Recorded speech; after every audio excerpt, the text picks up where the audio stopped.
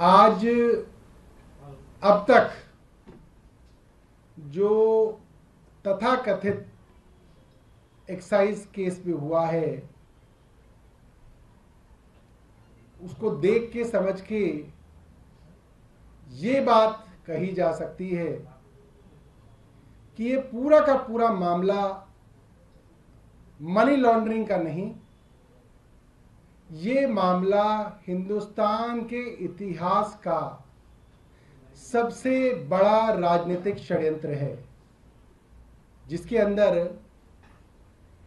हिंदुस्तान के सबसे ज़्यादा वोटों से और सबसे ज़्यादा सीटों से जीतने वाले किसी भी राज्य के मुख्यमंत्री में सबसे आगे जो आते हैं अरविंद केजरीवाल, उनको और उनकी पॉलिटिकल पार्टी को और उनकी दिल्ली और पंजाब की दो सरकारों को नष्ट करने का, कुचलने का, खत्म करने का एक बड़ा षड्यंत्र है।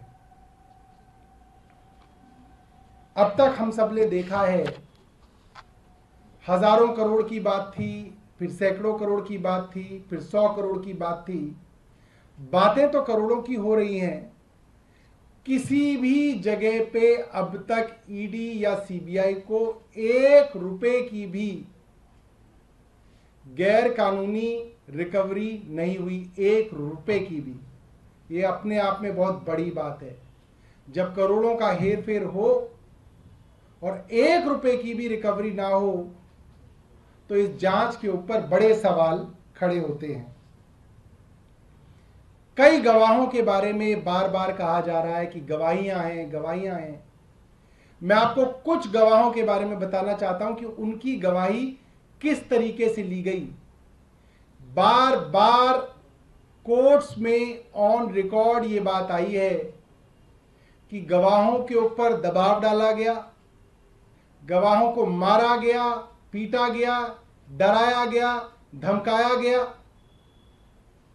और उनके ऊपर यह दबाव बनाया गया कि वो अपनी पुरानी गवाही बदल के वो गवाही दें जो ईडी कह रही है, जो केंद्र सरकार की एजेंसी कह रही है, वो गवाही दें। और ये ऑन रिकॉर्ड है, ये मेरे एलिगेशन नहीं है, ये सब ऑन रिकॉर्ड है। चंदन रेड्डी, जिनका अपना बयान बदलने के लिए उनके ऊपर दबाव डाला गया। उन्होंने हाईकोर्ट के अंदर रिट डाली है इस बारे में। उनकी रिट यह थी कि उनको इतना मारा गया, इतना पीटा गया कि उनके दोनों कान के पर्दे फट गए। ये हाईकोर्ट के अंदर रिट डाली थी उन्होंने। क्यों डाली थी? कि वो ईडी जो कह रही है, वो बयान दे, अपने बयान को बदलें। अरुण पिल्लई का बयान है, ऑन रिकॉर्ड है उनको अपनी गवाही बदलने के लिए डराया गया, धमकाया गया, उनके परिवार के बारे में कह के उनको डराया गया, धमकाया गया, उनकी पत्नी के बारे में, उनकी बेटी के बारे में। ये ऑन रिकॉर्ड है, ये मेरा एलिगेशन नहीं है। ये कोर्ट्स में ऑन रिकॉर्ड बात है। ऐसे ही समीर महेंद्रू ऑन रिकॉर्ड है कि उन्होंने कहा कि उनके पिताजी को ईडी वालों ने अपने दफ्तर में रोका उनकी पत्नी को एयरपोर्ट पे रोका गया और उनसे जेल में ईडी ने इस तरीके से ज़बरदस्ती झूठे बयान लेने की कोशिश की, ये ऑन रिकॉर्ड है। और इसके अलावा ऐसे कई गवाह हैं, संजय सिंह जी ने अप्रैल में एक प्रेस कॉन्फ्रेंस की थी, अप्रैल 2022 के अंदर उन्होंने सब गवाहों के बारे में और उनकी कोर्ट्स के अंदर जो स्टेटमेंट्स थी उसके बारे में जो ऑन रिकॉर्ड बातें आई हैं, उसके बारे में बताया था, किस तरीके से गवाहों को डरा के, धमका के ईडी ने झूठे बयान लिए हैं। ये कहा जा सकता है, ये पूरा का पूरा मामला फर्जी सबूतों और झूठे गवाहों पे आधारित है। इसका आधार ही झूठ है। इसके बाद जो सबसे बड़ी गवाही अरविंद केजरीवाल जी के खिलाफ इस्तेमाल हो रही है, वो है मगुंटा रेड्डी और उनके बेटे राघव रेड्डी के विषय में।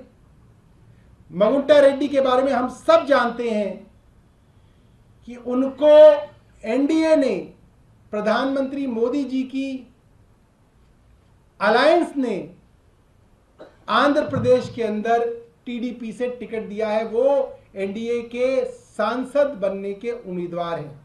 उनके विषय में भी मैं बताऊँ, मुख्यमंत्री जी ने भी कोर्ट में बताया था। 16 सितंबर 2022 को मगुंटा रेड्डी के यहाँ छापा पड़ता है। उनसे अरविंद केजरीवाल जी के बारे में पूछा जाता है। उनकी स्टेटमेंट है सेक्शन 17 में। उनकी स्टेटमेंट में अरविंद केजरीवाल जी के विषय में कोई ऐसी बात नहीं है जो अरविंद जी के खिलाफ हो। पाँच महीने बीतते हैं 10 फरवरी 2023 को राघव रेड्डी, जो मगुंटा रेड्डी के बेटे हैं, उनको गिरफ़्तार करती है ईडी, जेल में डालती है। राघव के जेल में छह बार बयान होते हैं। उनके पिता के कई बार बयान होते हैं। सब बयानों में वो कोई ऐसी बात नहीं कहते जो अरविंद केजरीवाल के खिलाफ हो। ये बात ऑन रिकॉर्ड है। उसके बाद पाँच महीने जब बेटा जेल में रह लेता है तो बाप टूट जाता है। और 16 जुलाई को राघव के पिता मगुंटा रेड्डी अपना बयान बदल के अरविंद केजरीवाल के खिलाफ पहली बयान बयान देते हैं। ईडी का काम पूरा हो जाता है, केंद्र सरकार का काम पूरा हो जाता है। 18 जुलाई को राघव रेड्डी को छोड़ दिया जाता है। फिर, क्योंकि छोड़ दिया जाता है तो छोड़ने की शर्त ही यह है कि अरविंद केजरीवाल के खिलाफ बयान देना है। फिर वो बयान अरविंद केजरीवाल के खिलाफ देते हैं, चाहे वो सेक्शन 50 का बयान हो, चाहे वो सेक्शन 164 का बयान हो। जब आपने एक आदमी को डरा ही दिया, धमकाई दिया, फिर इसकी क्या वैल्यू है कि वो बयान वो पीएमएलए के अंदर सेक्शन 50 में दे रहा है, या एक का बयान दे रहा है, डरा हुआ आदमी तो जहाँ चौराहे पे ले जाओगे तो चौराहे पे भी झूठ बोलेगा। जब आपने उसको बेल ही इस कंडीशन पे दी है कि आपको छोड़ेंगे तब जब आप बयान अरविंद केजरीवाल के खिलाफ दोगे तो इस बात की क्या कीमत रह जाती है? कि वो बयान ईडी के सामने दिया जा रहा है या मजिस्ट्रेट के सामने दिया जा रहा है, ये बात तो साबित हो गई कि उसको डरा के, धमका के, जेल का डर दिखा के उसके पिता को और उससे गलत और झूठी गवाही ली गई, ये बात तो साबित है। इसमें क्या बचा है? और इन लोगों के भारतीय जनता पार्टी से सीधे संबंध है। यह बात साबित है क्योंकि वो आदमी जब तक एनडीए की जो खास बातचीत थी, वो जगन रेड्डी की पार्टी से थी, तब तक वो जगन रेड्डी में थे। जब एनडीए से बातचीत टीडीपी की शुरू हो गई तो अब वो टीडीपी में आ गए और उनको टीडीपी से टिकट मिल गई। ये बात तो बिल्कुल साफ़ साफ़ है। आज जो फैसला हाईकोर्ट का आया है, कोर्ट है, कोर्ट के इंस्टीट्यूशन है, इंस्टीट्यूशन का हम सम्मान करते हैं और हम सम्मान पूर्वक ये कहना चाहते हैं कि हम इस फैसले से सहमत नहीं है और इस फैसले के खिलाफ हम सुप्रीम कोर्ट जाएँगे और सुप्रीम कोर्ट के अंदर अपनी बात रखेंगे। आपका कोई सवाल है तो आप पूछ सकते हैं। सौरभ जी आप वही आर्गुमेंट्स दोहरा रहे हैं जिसको दिल्ली हाई कोर्ट ने अभी खारिज किया है और ये भी कहा कि अप्रूवर जो है वो एक टेस्टेड फॉर्मूला रहा है साथ में बेल ईडी नहीं देती है कोर्ट देती है। मैं यही बात कह रहा हूँ कि आज जो भारतीय जनता पार्टी के प्रवक्ता टीवी पर बैठ के ज्ञान देंगे प्रेस कॉन्फ्रेंस में जो ज्ञान देंगे, वो वही ज्ञान है। जब संजय सिंह जी की बेल इसी कोर्ट में, इसी जज साहब ने रिजेक्ट की थी तो यही बड़ी बड़ी बातें की गई थी कि हाईकोर्ट ने फैसला दे दिया। डिस्ट्रिक्ट के ऊपर हाई कोर्ट होता है हाई कोर्ट के ऊपर सुप्रीम कोर्ट होता है, इसीलिए बनाया गया है कि संविधान निर्माताओं को यह बात पता थी कि अगर निचली कोर्ट गलती कर दे तो उसके ऊपर जाया जाए, और अगर वो कोर्ट गलती कर दे तो उसके ऊपर जाया जाए। इसीलिए फैसले पलटे जाते हैं। और यही सारी बातें हाईकोर्ट ने इसी तरीके से संजय सिंह जी के विषय में कही थी। यही बेंच थी, यही कोर्ट था। और फिर हम जब सुप्रीम कोर्ट में गए, उन्हीं तथ्यों के आधार पे, उन्हीं आर्ग्यूमेंट्स के आधार पे, जिनमें हाईकोर्ट ने संजय सिंह जी के पक्ष में कुछ नहीं दिया, वहीं सुप्रीम कोर्ट ने उनको बेल दे दी और यह तक कहा कि अगर इस मामले पे आप ज़्यादा बहस करेंगे तो हमको ऐसा फैसला लिखना पड़ जाएगा कि आपका ये पूरा पूरा केस जो है, ये हवा में उड़ जाएगा। ये बात सुप्रीम कोर्ट के बेंच ने ईडी के वकील को कही थी। ये बात सबके सामने है। और कोई आपके पास सवाल है तो पूछ सकते हैं। सर, आप बार बार ये कह रहे हैं कि चुनाव से रोकने साजिश थी, लेकिन कोर्ट ने साफ़ कहा कि इस बात की रियायत नहीं दी जा सकती कि वो एक मुख्यमंत्री हैं या नेता हैं। देखिए लेवल प्लेइंग फ़ील्ड की आर्ग्यूमेंट हम लोगों ने दी थी। और मुझे लगता है कि जिस तरीके से संजय सिंह जी के मामले में जो जो आर्ग्यूमेंट हमने हाईकोर्ट को दी, वो सारी आर्ग्यूमेंट्स हाईकोर्ट ने रिजेक्ट की। और वही हु बहु आर्ग्यूमेंट्स जब हमने सुप्रीम कोर्ट में दी, जो देश की सबसे बड़ी अदालत है थ्री जज बेंच है, वहाँ पे वो सारी की सारी आर्ग्यूमेंट्स मानी गई। और सुप्रीम कोर्ट ने संजय सिंह जी को रिलीफ दिया। इससे ज़्यादा मैं आपको क्या कह सकता हूँ? कोर्ट है, कोर्ट का फैसला है, कोर्ट के ऊपर बड़ी कोर्ट है, बड़ी कोर्ट में जाएँगे। हम वो लोग हैं जो कोर्ट में विश्वास रखते हैं। भारतीय जनता पार्टी कौन सी पार्टी है? भारतीय जनता पार्टी तो वो पार्टी है जो देश की सबसे बड़ी कोर्ट को भी नहीं मानती। देश की सबसे बड़ी कोर्ट की पाँच जजेस की बेंच ने फैसला दिया कि दिल्ली सरकार को अधिकारियों के ऊपर सारे अधिकार हैं। मगर केंद्र की भारतीय जनता पार्टी ने ऑर्डिनेंस लाके सुप्रीम कोर्ट का फैसला पलट दिया। सुप्रीम कोर्ट की कॉन्स्टिट्यूशनल बेंच ने कहा, इलेक्शन कमिश्नरों को लगाने का अधिकार केंद्र सरकार का नहीं है। इसके लिए जो तीन लोग इलेक्शन कमिश्नर को चुनेंगे, उसमें एक प्रधानमंत्री होंगे, एक लीडर ऑफ़ अपोजिशन होंगे, एक चीफ जस्टिस होंगे। सबसे बड़ी अदालत ने कहा। और भारतीय जनता पार्टी की केंद्र सरकार ने कहा, नहीं, हम नहीं मानते सुप्रीम कोर्ट। और उन्होंने वो मामला पलट दिया। और चीफ जस्टिस की जगह उन्होंने अपने एक मंत्री को लगा दिया ताकि अपनी मनमानी से इलेक्शन कमीशन बनाए। और आप देख ही रहे हो क्या हो रहा है। तो हम वो पार्टी नहीं है भारतीय जनता पार्टी की तरह, जो सुप्रीम कोर्ट की सबसे बड़ी अदालत को भी पलटने का काम करें, जो सुप्रीम कोर्ट तक से सहमत नहीं है।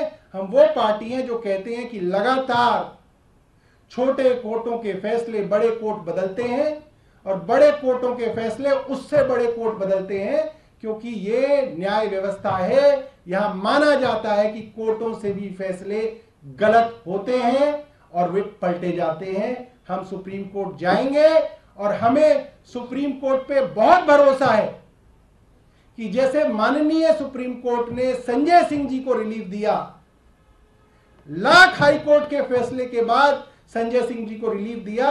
हमें पूरी उम्मीद है कि अरविंद केजरीवाल जी के मामले में माननीय सुप्रीम कोर्ट रिलीफ देगा। सौरभ जी ये बहुत बड़े लेकिन जॉल्ट के तौर पे सामने आ रहा है क्योंकि जो परसेप्शन में चुनाव का समय है इससे पब्लिक के बीच भी मैसेज खराब जाएगा कि आपके सारे तर्कों को हाईकोर्ट ने रिजेक्ट किया है और आपने जो पूरा आर्गुमेंट बेस किया था जिस ग्राउंड पे उसी को पूरी तरह से खारिज कर दिया मैं आपको ये बताता हूँ जब कोर्ट रिलीफ ही नहीं दे रहा तो हर आर्ग्यूमेंट को खारिज ही करेगा। कोर्ट ये कोई ना कहेगा कि आपका ये बात मान ली, ये बात मान ली, ये बात मान ली, मगर हम आपको रिलीफ नहीं देंगे, ऐसा नहीं कहेगा। कोर्ट यही कहेगा, हम ये भी नहीं मानेंगे, ये भी नहीं मानेंगे, ये भी नहीं मानेंगे, मैं यही तो आपको समझा रहा हूँ। संजय सिंह जी के मामले में वही वकील थे, वही जज साहब थे, वही आर्ग्यूमेंट थी। हाई कोर्ट में रिजेक्ट हुआ, फिर वही वकील उसी आर्ग्यूमेंट के साथ सुप्रीम कोर्ट गए। सुप्रीम कोर्ट के तीन जज के बेंच ने रिलीफ दे दिया। तो इसमें क्या बड़ी बात है? इस हाई कोर्ट ने रिलीफ नहीं दिया हम सुप्रीम कोर्ट जाएँगे वहाँ पे आर्ग्यूमेंट रखेंगे वहाँ रिलीफ मिलेगा तो होता रहता है तो हमारे साथ कई बार हुआ है लगातार हो रहा है और कोई बात इससे अलग एक कि अभी हाल में कांग्रेस ने मैनिफेस्टो जो रिलीज़ किया उसको मोदी जी कह रहे हैं कि मुस्लिम लीग का मैनिफेस्टो क्योंकि आप अलायंस में हैं कांग्रेस के साथ इस पर आपका क्या कहना देखिए हम तो यही कहेंगे प्रधानमंत्री जी अब आपने 10 साल देश में शासन कर लिया अब आप थोड़ी काम की बात बताइए कि आपने जो वादे 2014 के चुनाव में किए थे, आपने उनमें से कितने वादे पूरे किए? क्या देश में महँगाई कम की आपने? आपने नहीं की। क्या पेट्रोल, डीजल के काम आप, दाम आपने कम किए? आपने नहीं किए। क्या बुलेट ट्रेन चल गई? दस साल में भी नहीं चली। क्या स्मार्ट सिटी बन गए? दस साल में भी नहीं बने। क्या किसानों की आय दुगनी कर दी? अभी तक नहीं की। क्या डॉलर के मुकाबले रुपया ऊपर चला गया? अभी तक नहीं गया। क्या दो करोड़ लोगों को हर साल नौकरी मिल रही है? अभी तक नहीं मिल रही है। उन बातों की बात करें, प्रधानमंत्री जी को बहुत समय दिया देश के लोगों ने। दस साल दिए। वे ये बताएँ कि उन्होंने क्या काम किया। ये हिंदू, मुस्लिम, ये तो छोटे छोटे जो है डिस्ट्रिक्ट लेवल के और उनके जो मंडल लेवल के नेता बात करते हैं, ये प्रधानमंत्री को शोभा नहीं देती। सौरभ जी काउंटर आया है आपके बयान पे कि कोई रिकवरी नहीं हुई है। सुधांशु त्रिवेदी कह रहे हैं कि यही तो पता करना, इसी के लिए इन्वेस्टिगेशन चल रहा है। कहीं केजरीवाल जी ने अपनी केजरीवाल जी की आत्मा उस पैसे की रक्षा तो नहीं कर रही है? नहीं नहीं नहीं, सुधांशु त्रिवेदी जी को पता ही नहीं चला। रिकवरी तो हो गई है। उनसठ करोड़ रुपए की रिकवरी हो गई है।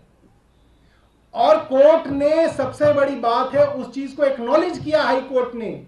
दो बातों को हाई कोर्ट ने आज एक्नॉलेज किया। मैं समझता हूँ वो हमारी बड़ी जीत है। कोर्ट ने इस चीज़ को एक्नॉलेज किया। कि उनसठ करोड़ रुपया इलेक्टोरल बॉन्ड के माध्यम से शरद रेड्डी की कंपनियों से भारतीय जनता पार्टी को आया। कोर्ट ने दूसरी बात जो हमारी बहस थी, वो एक्नॉलेज तो की कि जो मगुंटा रेड्डी हैं और उनके बेटे हैं, जो अरविंद केजरीवाल के खिलाफ सबसे बड़े गवाह हैं, वो मगुंटा रेड्डी भारतीय जनता पार्टी की अलायंस की तरफ़ से चुनाव लड़ रहे हैं सांसद का। ये दोनों चीज़ें एक्नॉलेज हुई। ये बात और है कि हम उम्मीद कर रहे थे कि इसके ऊपर इन्वेस्टिगेशन भी होगी, मगर उसका फोरम और होगा, उस पर इन्वेस्टिगेशन होनी चाहिए। केंद्र सरकार क्यों इन्वेस्टिगेशन नहीं कराना चाहती उसके ऊपर? कहे कि ईडी उसको इन्वेस्टिगेट करे।